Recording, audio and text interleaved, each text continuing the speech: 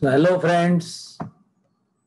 So today I will uh, discuss uh, with the losses in three-phase induction motor and uh, for exam point of view, uh, this lecture is very important because we'll be covering the losses in variable, uh, various losses in the three-phase induction motor as well as the power stages in induction motor and the relationship between the um, three powers. You can say input power to the rotor, then the losses in rotor and the output power of the rotor.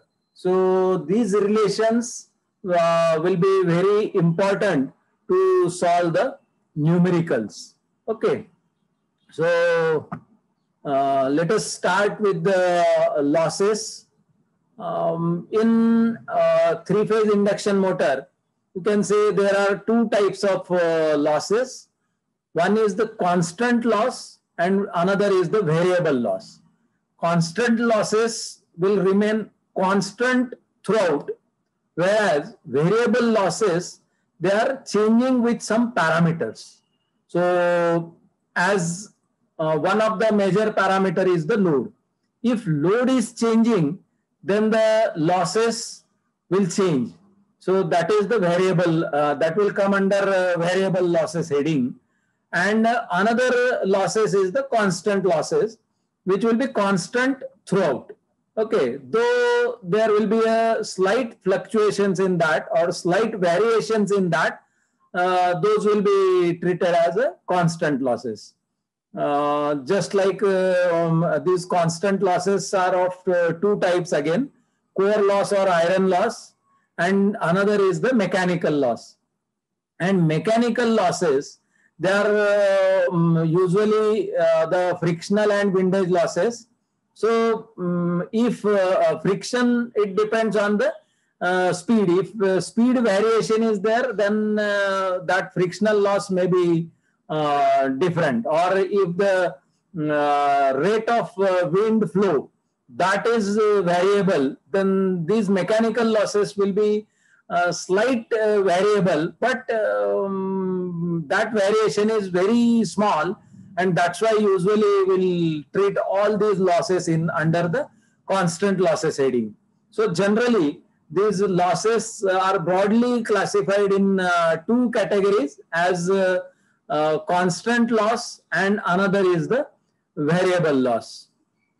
Okay, now these uh, constant losses, uh, they are uh, the core loss or iron loss and the mechanical loss.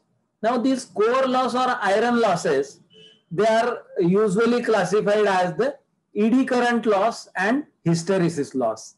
These eddy current losses we can reduce by uh, special type of uh, construction as we have already seen that is the laminated core.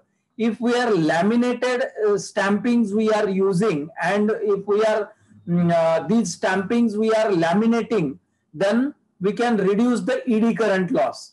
So this we have already seen uh, while uh, learning the construction so during that uh, construction of uh, induction motor, at that time I have uh, told you that eddy current losses will be uh, eliminated or uh, uh, removed by using um, not eliminated 100%, but we can reduce these eddy current losses by laminating the core. So we are using the circular type of lamination stampings and those stampings we are laminating so that these eddy current losses will be re reduced in uh, that. Okay, and hysteresis losses, we can uh, um, uh, reduce these hysteresis losses by using the uh, material of high grade steel, uh, silicon steel. And that uh, I have told you while construction. Now, usually these um, core losses or iron losses, they are proportional to the frequency. Now, since these uh, losses are um, proportional to frequency and uh, these core or iron losses are uh, both uh, resulting in uh, both stator as well as the rotor. Now, as we know that the um, frequency, um, um, 50 hertz frequency we supply, we are applying it to the stator winding. Okay, so the um, as per Indian standard, this frequency is constant and is equal to 50 hertz. So if this 50 hertz uh, frequency, we are applying it to the stator, then the um, stator losses will be dominant one. So that is eddy current and hysteresis losses. Both the losses are uh, dominant in uh, stator. And that's why um, in stator construction, in order to reduce these stator core or iron losses, we have seen that uh, to reduce the uh, eddy current loss and to reduce the hysteresis loss, we have used the uh, material of um, stator, uh, stator um, of the high silicon uh, steel, high grade silicon steel and we have used the laminated uh, stampings of that um, uh, stator uh, um, uh, winding or um, uh, stator. Uh, okay, so this is for reducing the stator losses. Now, in case of rotor, we know that the frequency of rotor induced EMF in the rotor, that is slip times the frequency and uh, that is um, S into F. And we know that under running condition, the value of slip is uh, very small, very, very small. It is equal to 1 to 5%. That's why this frequency will be very, very small. That we have already seen.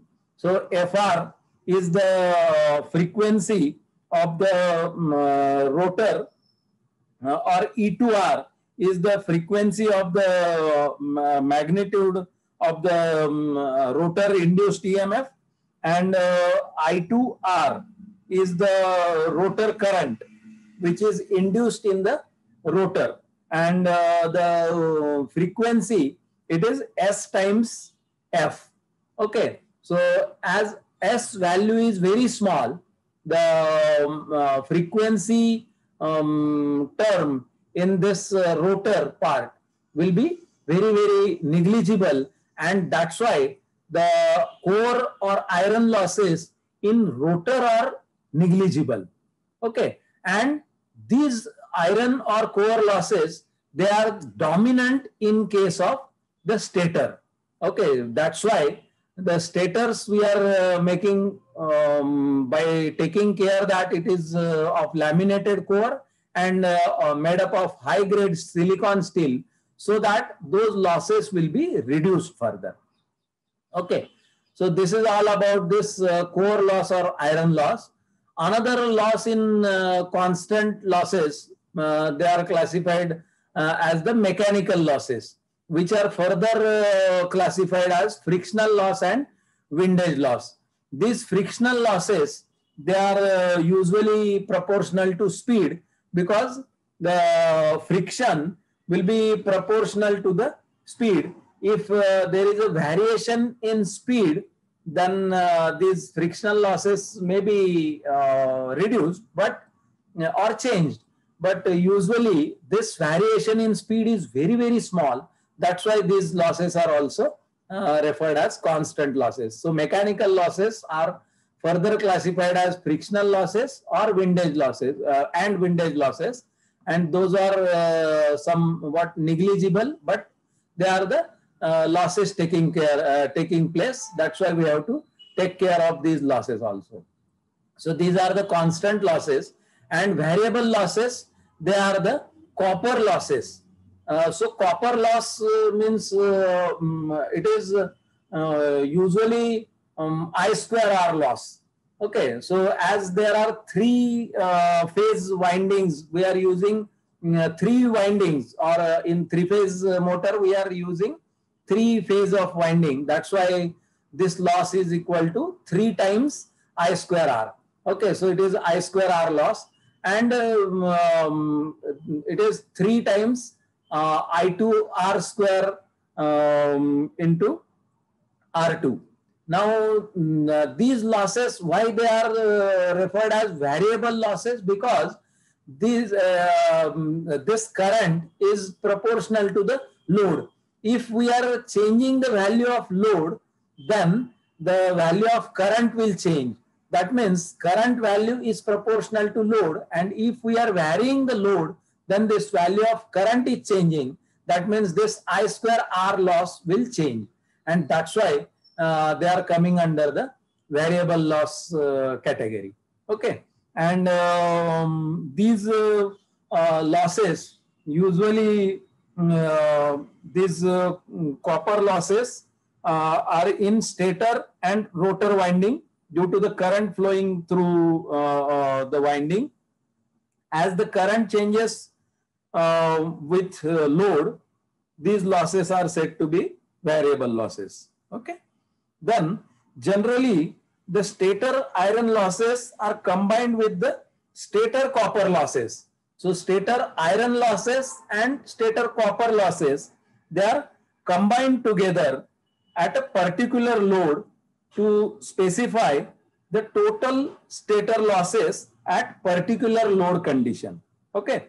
And these uh, rotor copper losses, as um, we know it is referred as 3 times I2R square into R2. So um, for rotor, they are analyzed uh, separately. Okay. Where I2R is the uh, rotor current per phase at particular load and uh, its value you can find it out uh, as we have already seen that I2R it is equal to E2R upon Z2R and E2R under running condition it is S times E2 and Z2R under running condition its magnitude is given as under root of R2 square plus SX2 whole square. Okay. So from this we can uh, find out value of I2R and uh, R2 you know it is the um, uh, resistance of the uh, rotor uh, side. Okay. So um, if R2 and I2R uh, you will calculate, you can calculate the value of the copper loss. Okay. And three times that will be the copper loss as usually three phase windings we are using.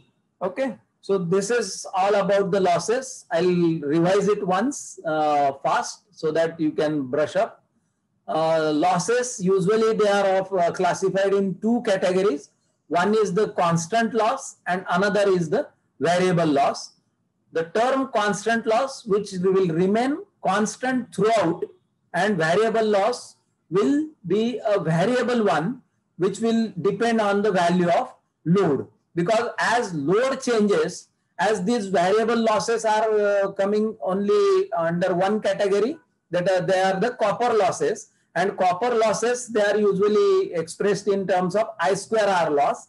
And as the value of I or current, it is proportional to the load. That is, as load is changing, the value of current will change. And as current is changing, this value of I square R or the copper loss will change. That's why the term variable loss. Okay. And in constant losses, two categories are there. One is core or iron loss and another is the mechanical loss. Now this core or iron losses, they are further classified as the eddy current loss and hysteresis loss. These both these losses or this iron or core losses, they are taking place in both stator as well as rotor. But uh, these losses are proportional to frequency. And as the frequency of stator applied uh, EMF of the stator is high, they are dominant in stator winding, whereas these losses are very, very small or negligible in case of rotor because the rotor frequency or the uh, induced EMF in the rotor is having the frequency equal to S times F. And under running condition, we know that value of S is very, very small, which is equal to 1 to 5%. That's why as the frequency is very, very less, the rotor law, copper loss, uh, rotor core loss or iron losses are negligible. And these losses are only dominant in the stator. And uh, they are categorized in two parts, eddy current loss and hysteresis loss. And in order to reduce this in stator, we are uh, making them uh, stator windings as laminated core and uh, the cores of high grade silicon steel. Okay. So this is all about the losses. Now, next uh, we'll see the power stages. What do you mean by power stages? This induction motor converts an electrical power supplied to it into the mechanical power. Okay. The electrical power, we are supplying it as the input and the power uh, available at the load is the output power, which is the mechanical power. Okay. So um, this um, this um, power, you can say uh, this induction motor is converting uh, input electrical power into the mechanical one. Okay. So now uh, these stages, how this electrical power, net electrical power inputted is converted into mechanical power. So there are various stages in between these because as we have already seen, the losses are there. And in every system, whatever input we are applying to that system will not be 100% be converted as the output because there are certain losses taking place in between. Okay. Now these losses, there are number of stages and as per these uh, stages, losses will be distributed amongst the stages and that's why uh, this is referred as the power stages. So net electrical input we are applying it to the motor is the three phase supply voltage. This P in is the supply power which we are applying it to the stator. Now this stator winding will have its own losses referred as stator losses. So we'll have to subtract these uh, stator losses from this input power. So these stator losses we have already seen, they are of two types. One is the core loss or iron loss and another is the copper loss. In stator, both the losses are present. So these two losses, you have to subtract from this input power and the net power uh, will be the output of this stator. And this output of stator is nothing but the rotating magnetic field. Now this RMF will interact with the rotor and that stator output, let us say it is P2 and that is same as that of the input to the rotor. So output of the stator winding, we are inputting it as the input to the rotor winding. Okay, so that is the P2. So P2 and P in we can relate by subtracting this stator losses.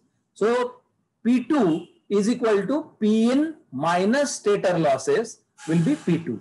Now this P2 is applied as the input to this rotor.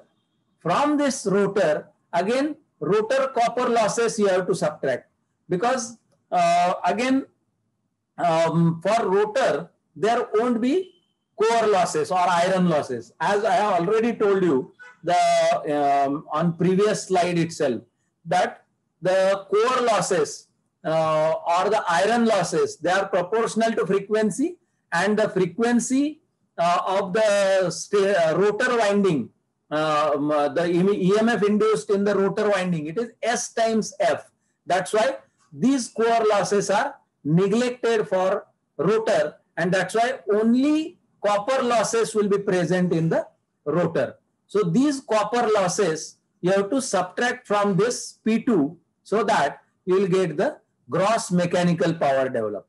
So rotor losses, uh, uh, rotor iron losses are neglected. So after neglecting this, rotor copper losses will be present and these copper losses of rotor you have to subtract from this P2. So P2 minus PC will be the PM. Now this gross mechanical power developed will be applied to the shaft or the load and that shaft before means uh, while rotating that uh, useful power of shaft that will be um, uh, related by subtracting the mechanical losses.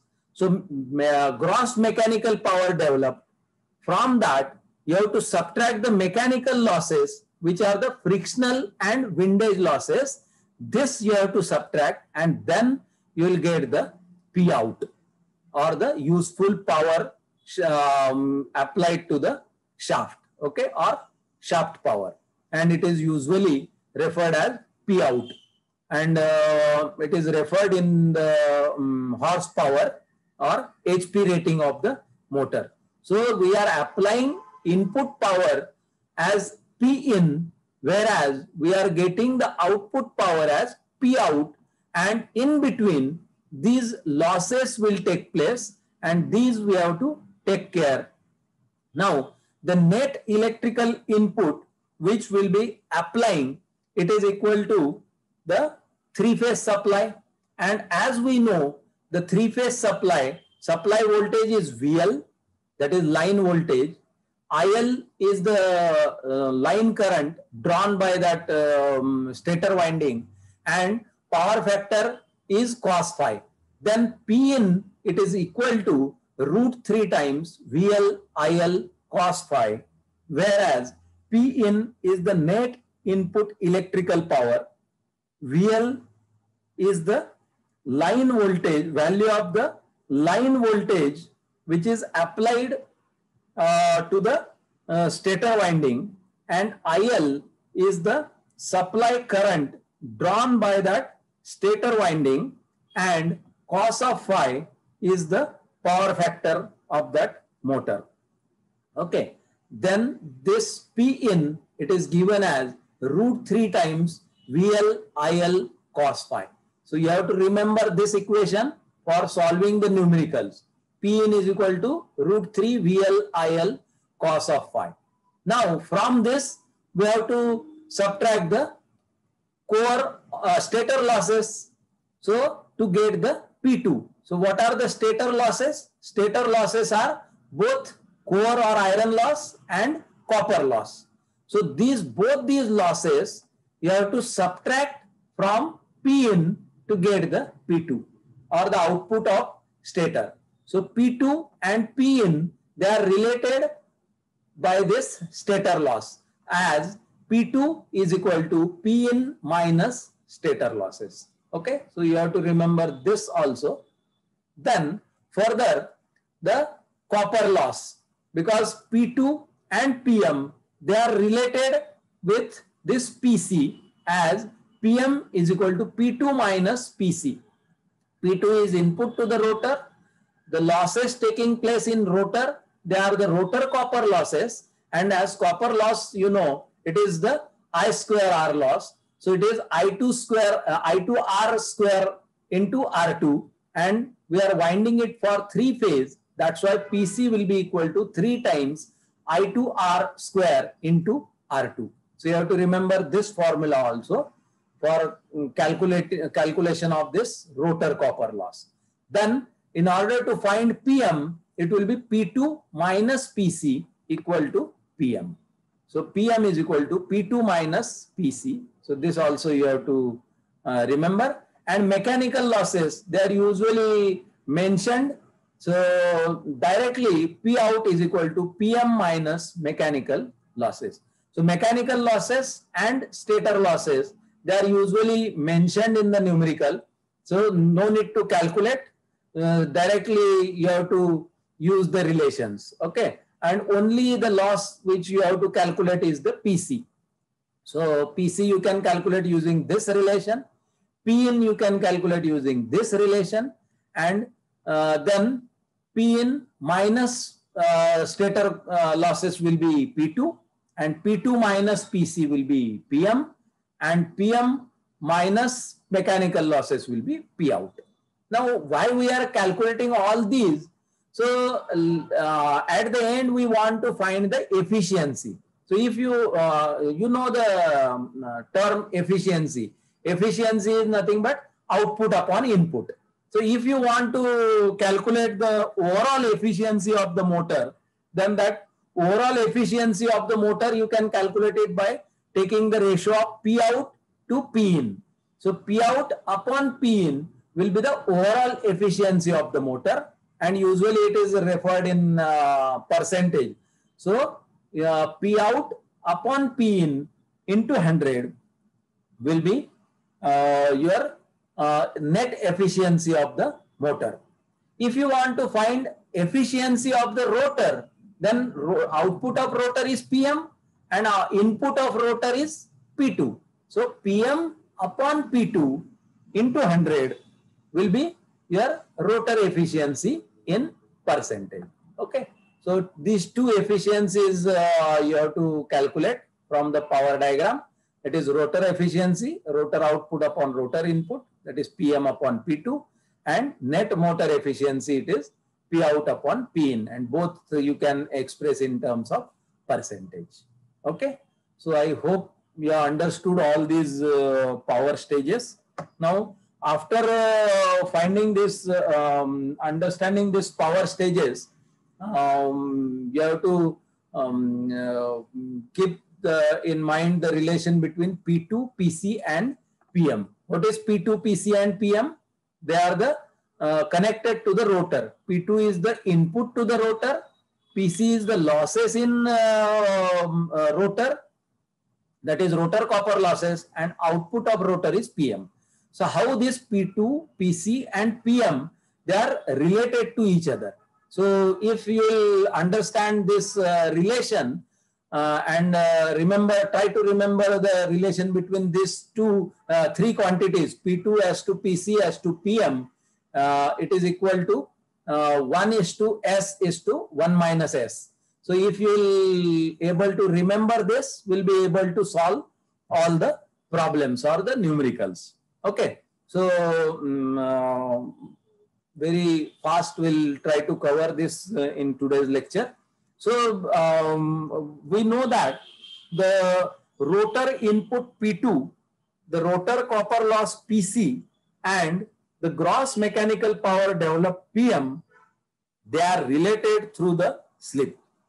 Now, we want to derive this uh, relation, uh, uh, how it is related to the slip.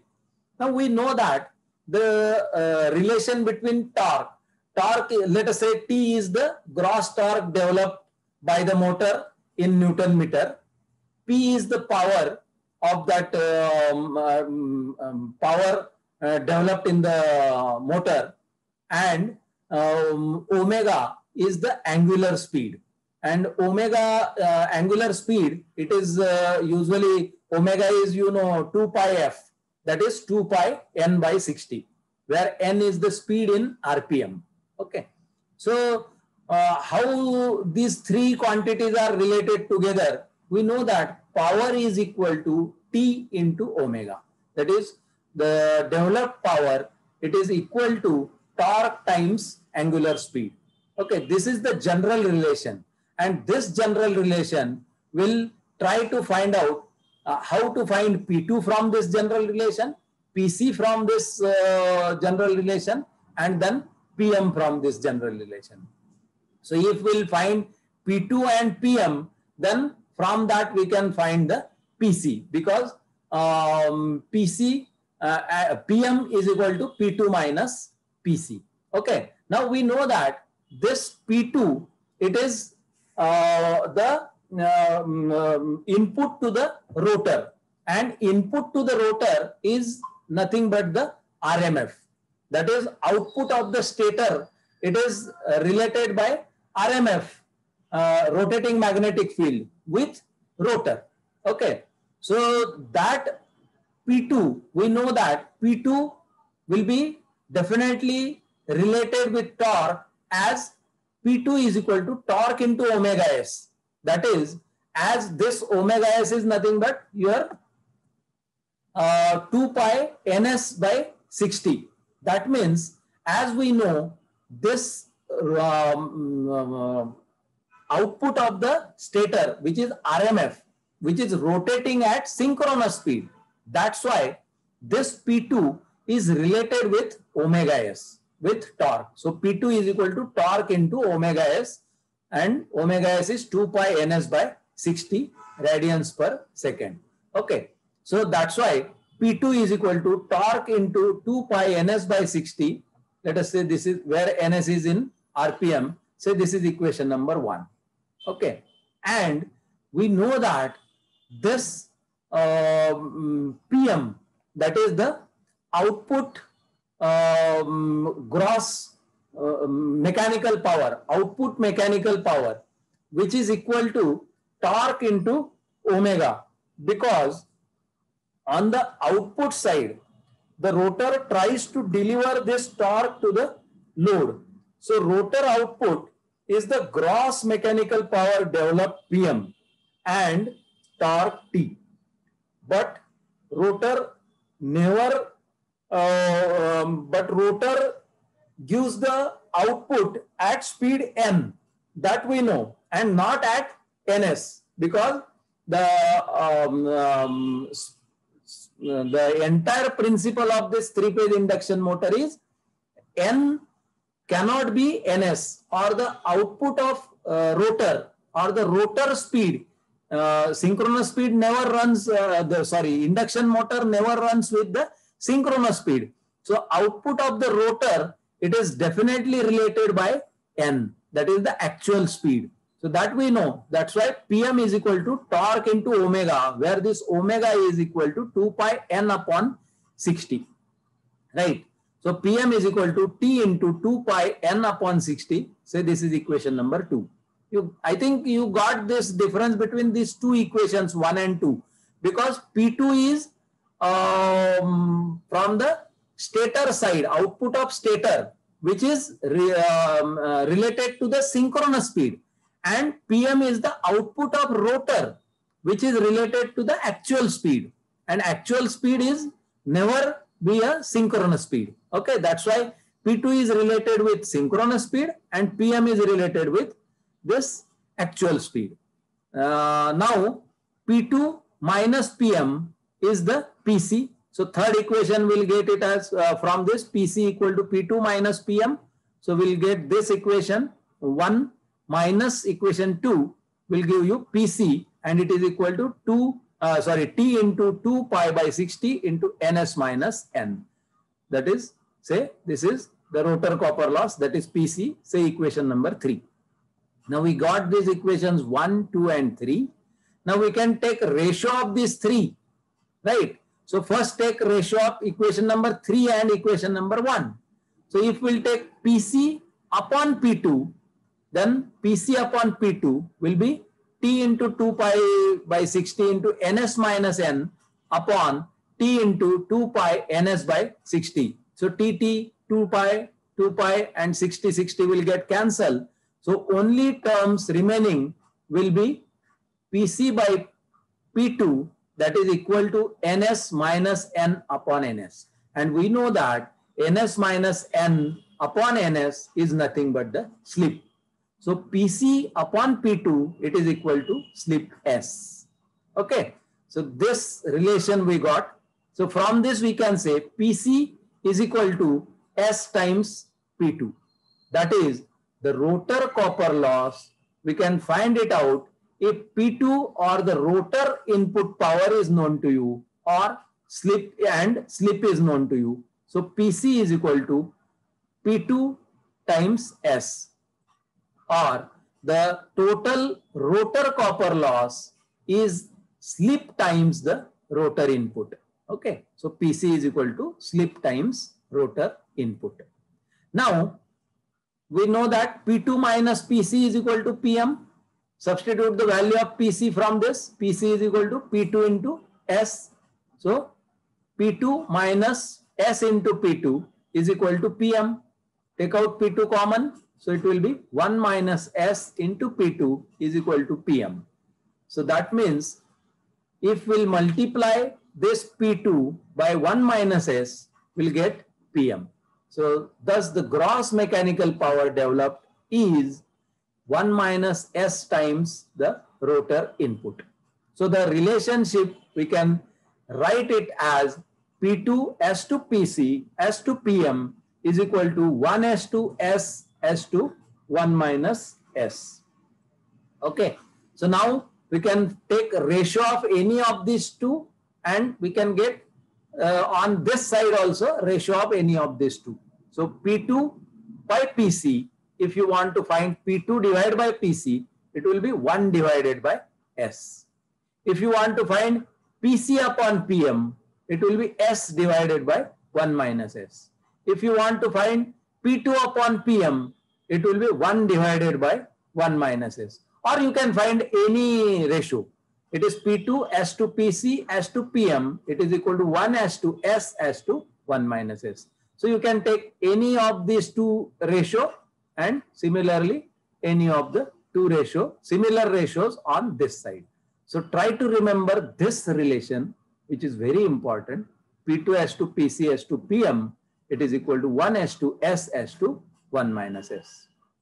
And I don't think you need to remember uh, all these because P2, PC and PM, these terms you can say these are this P2, PC and PM.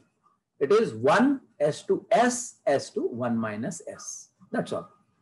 So uh, I hope you have understood uh, this uh, today's uh, session.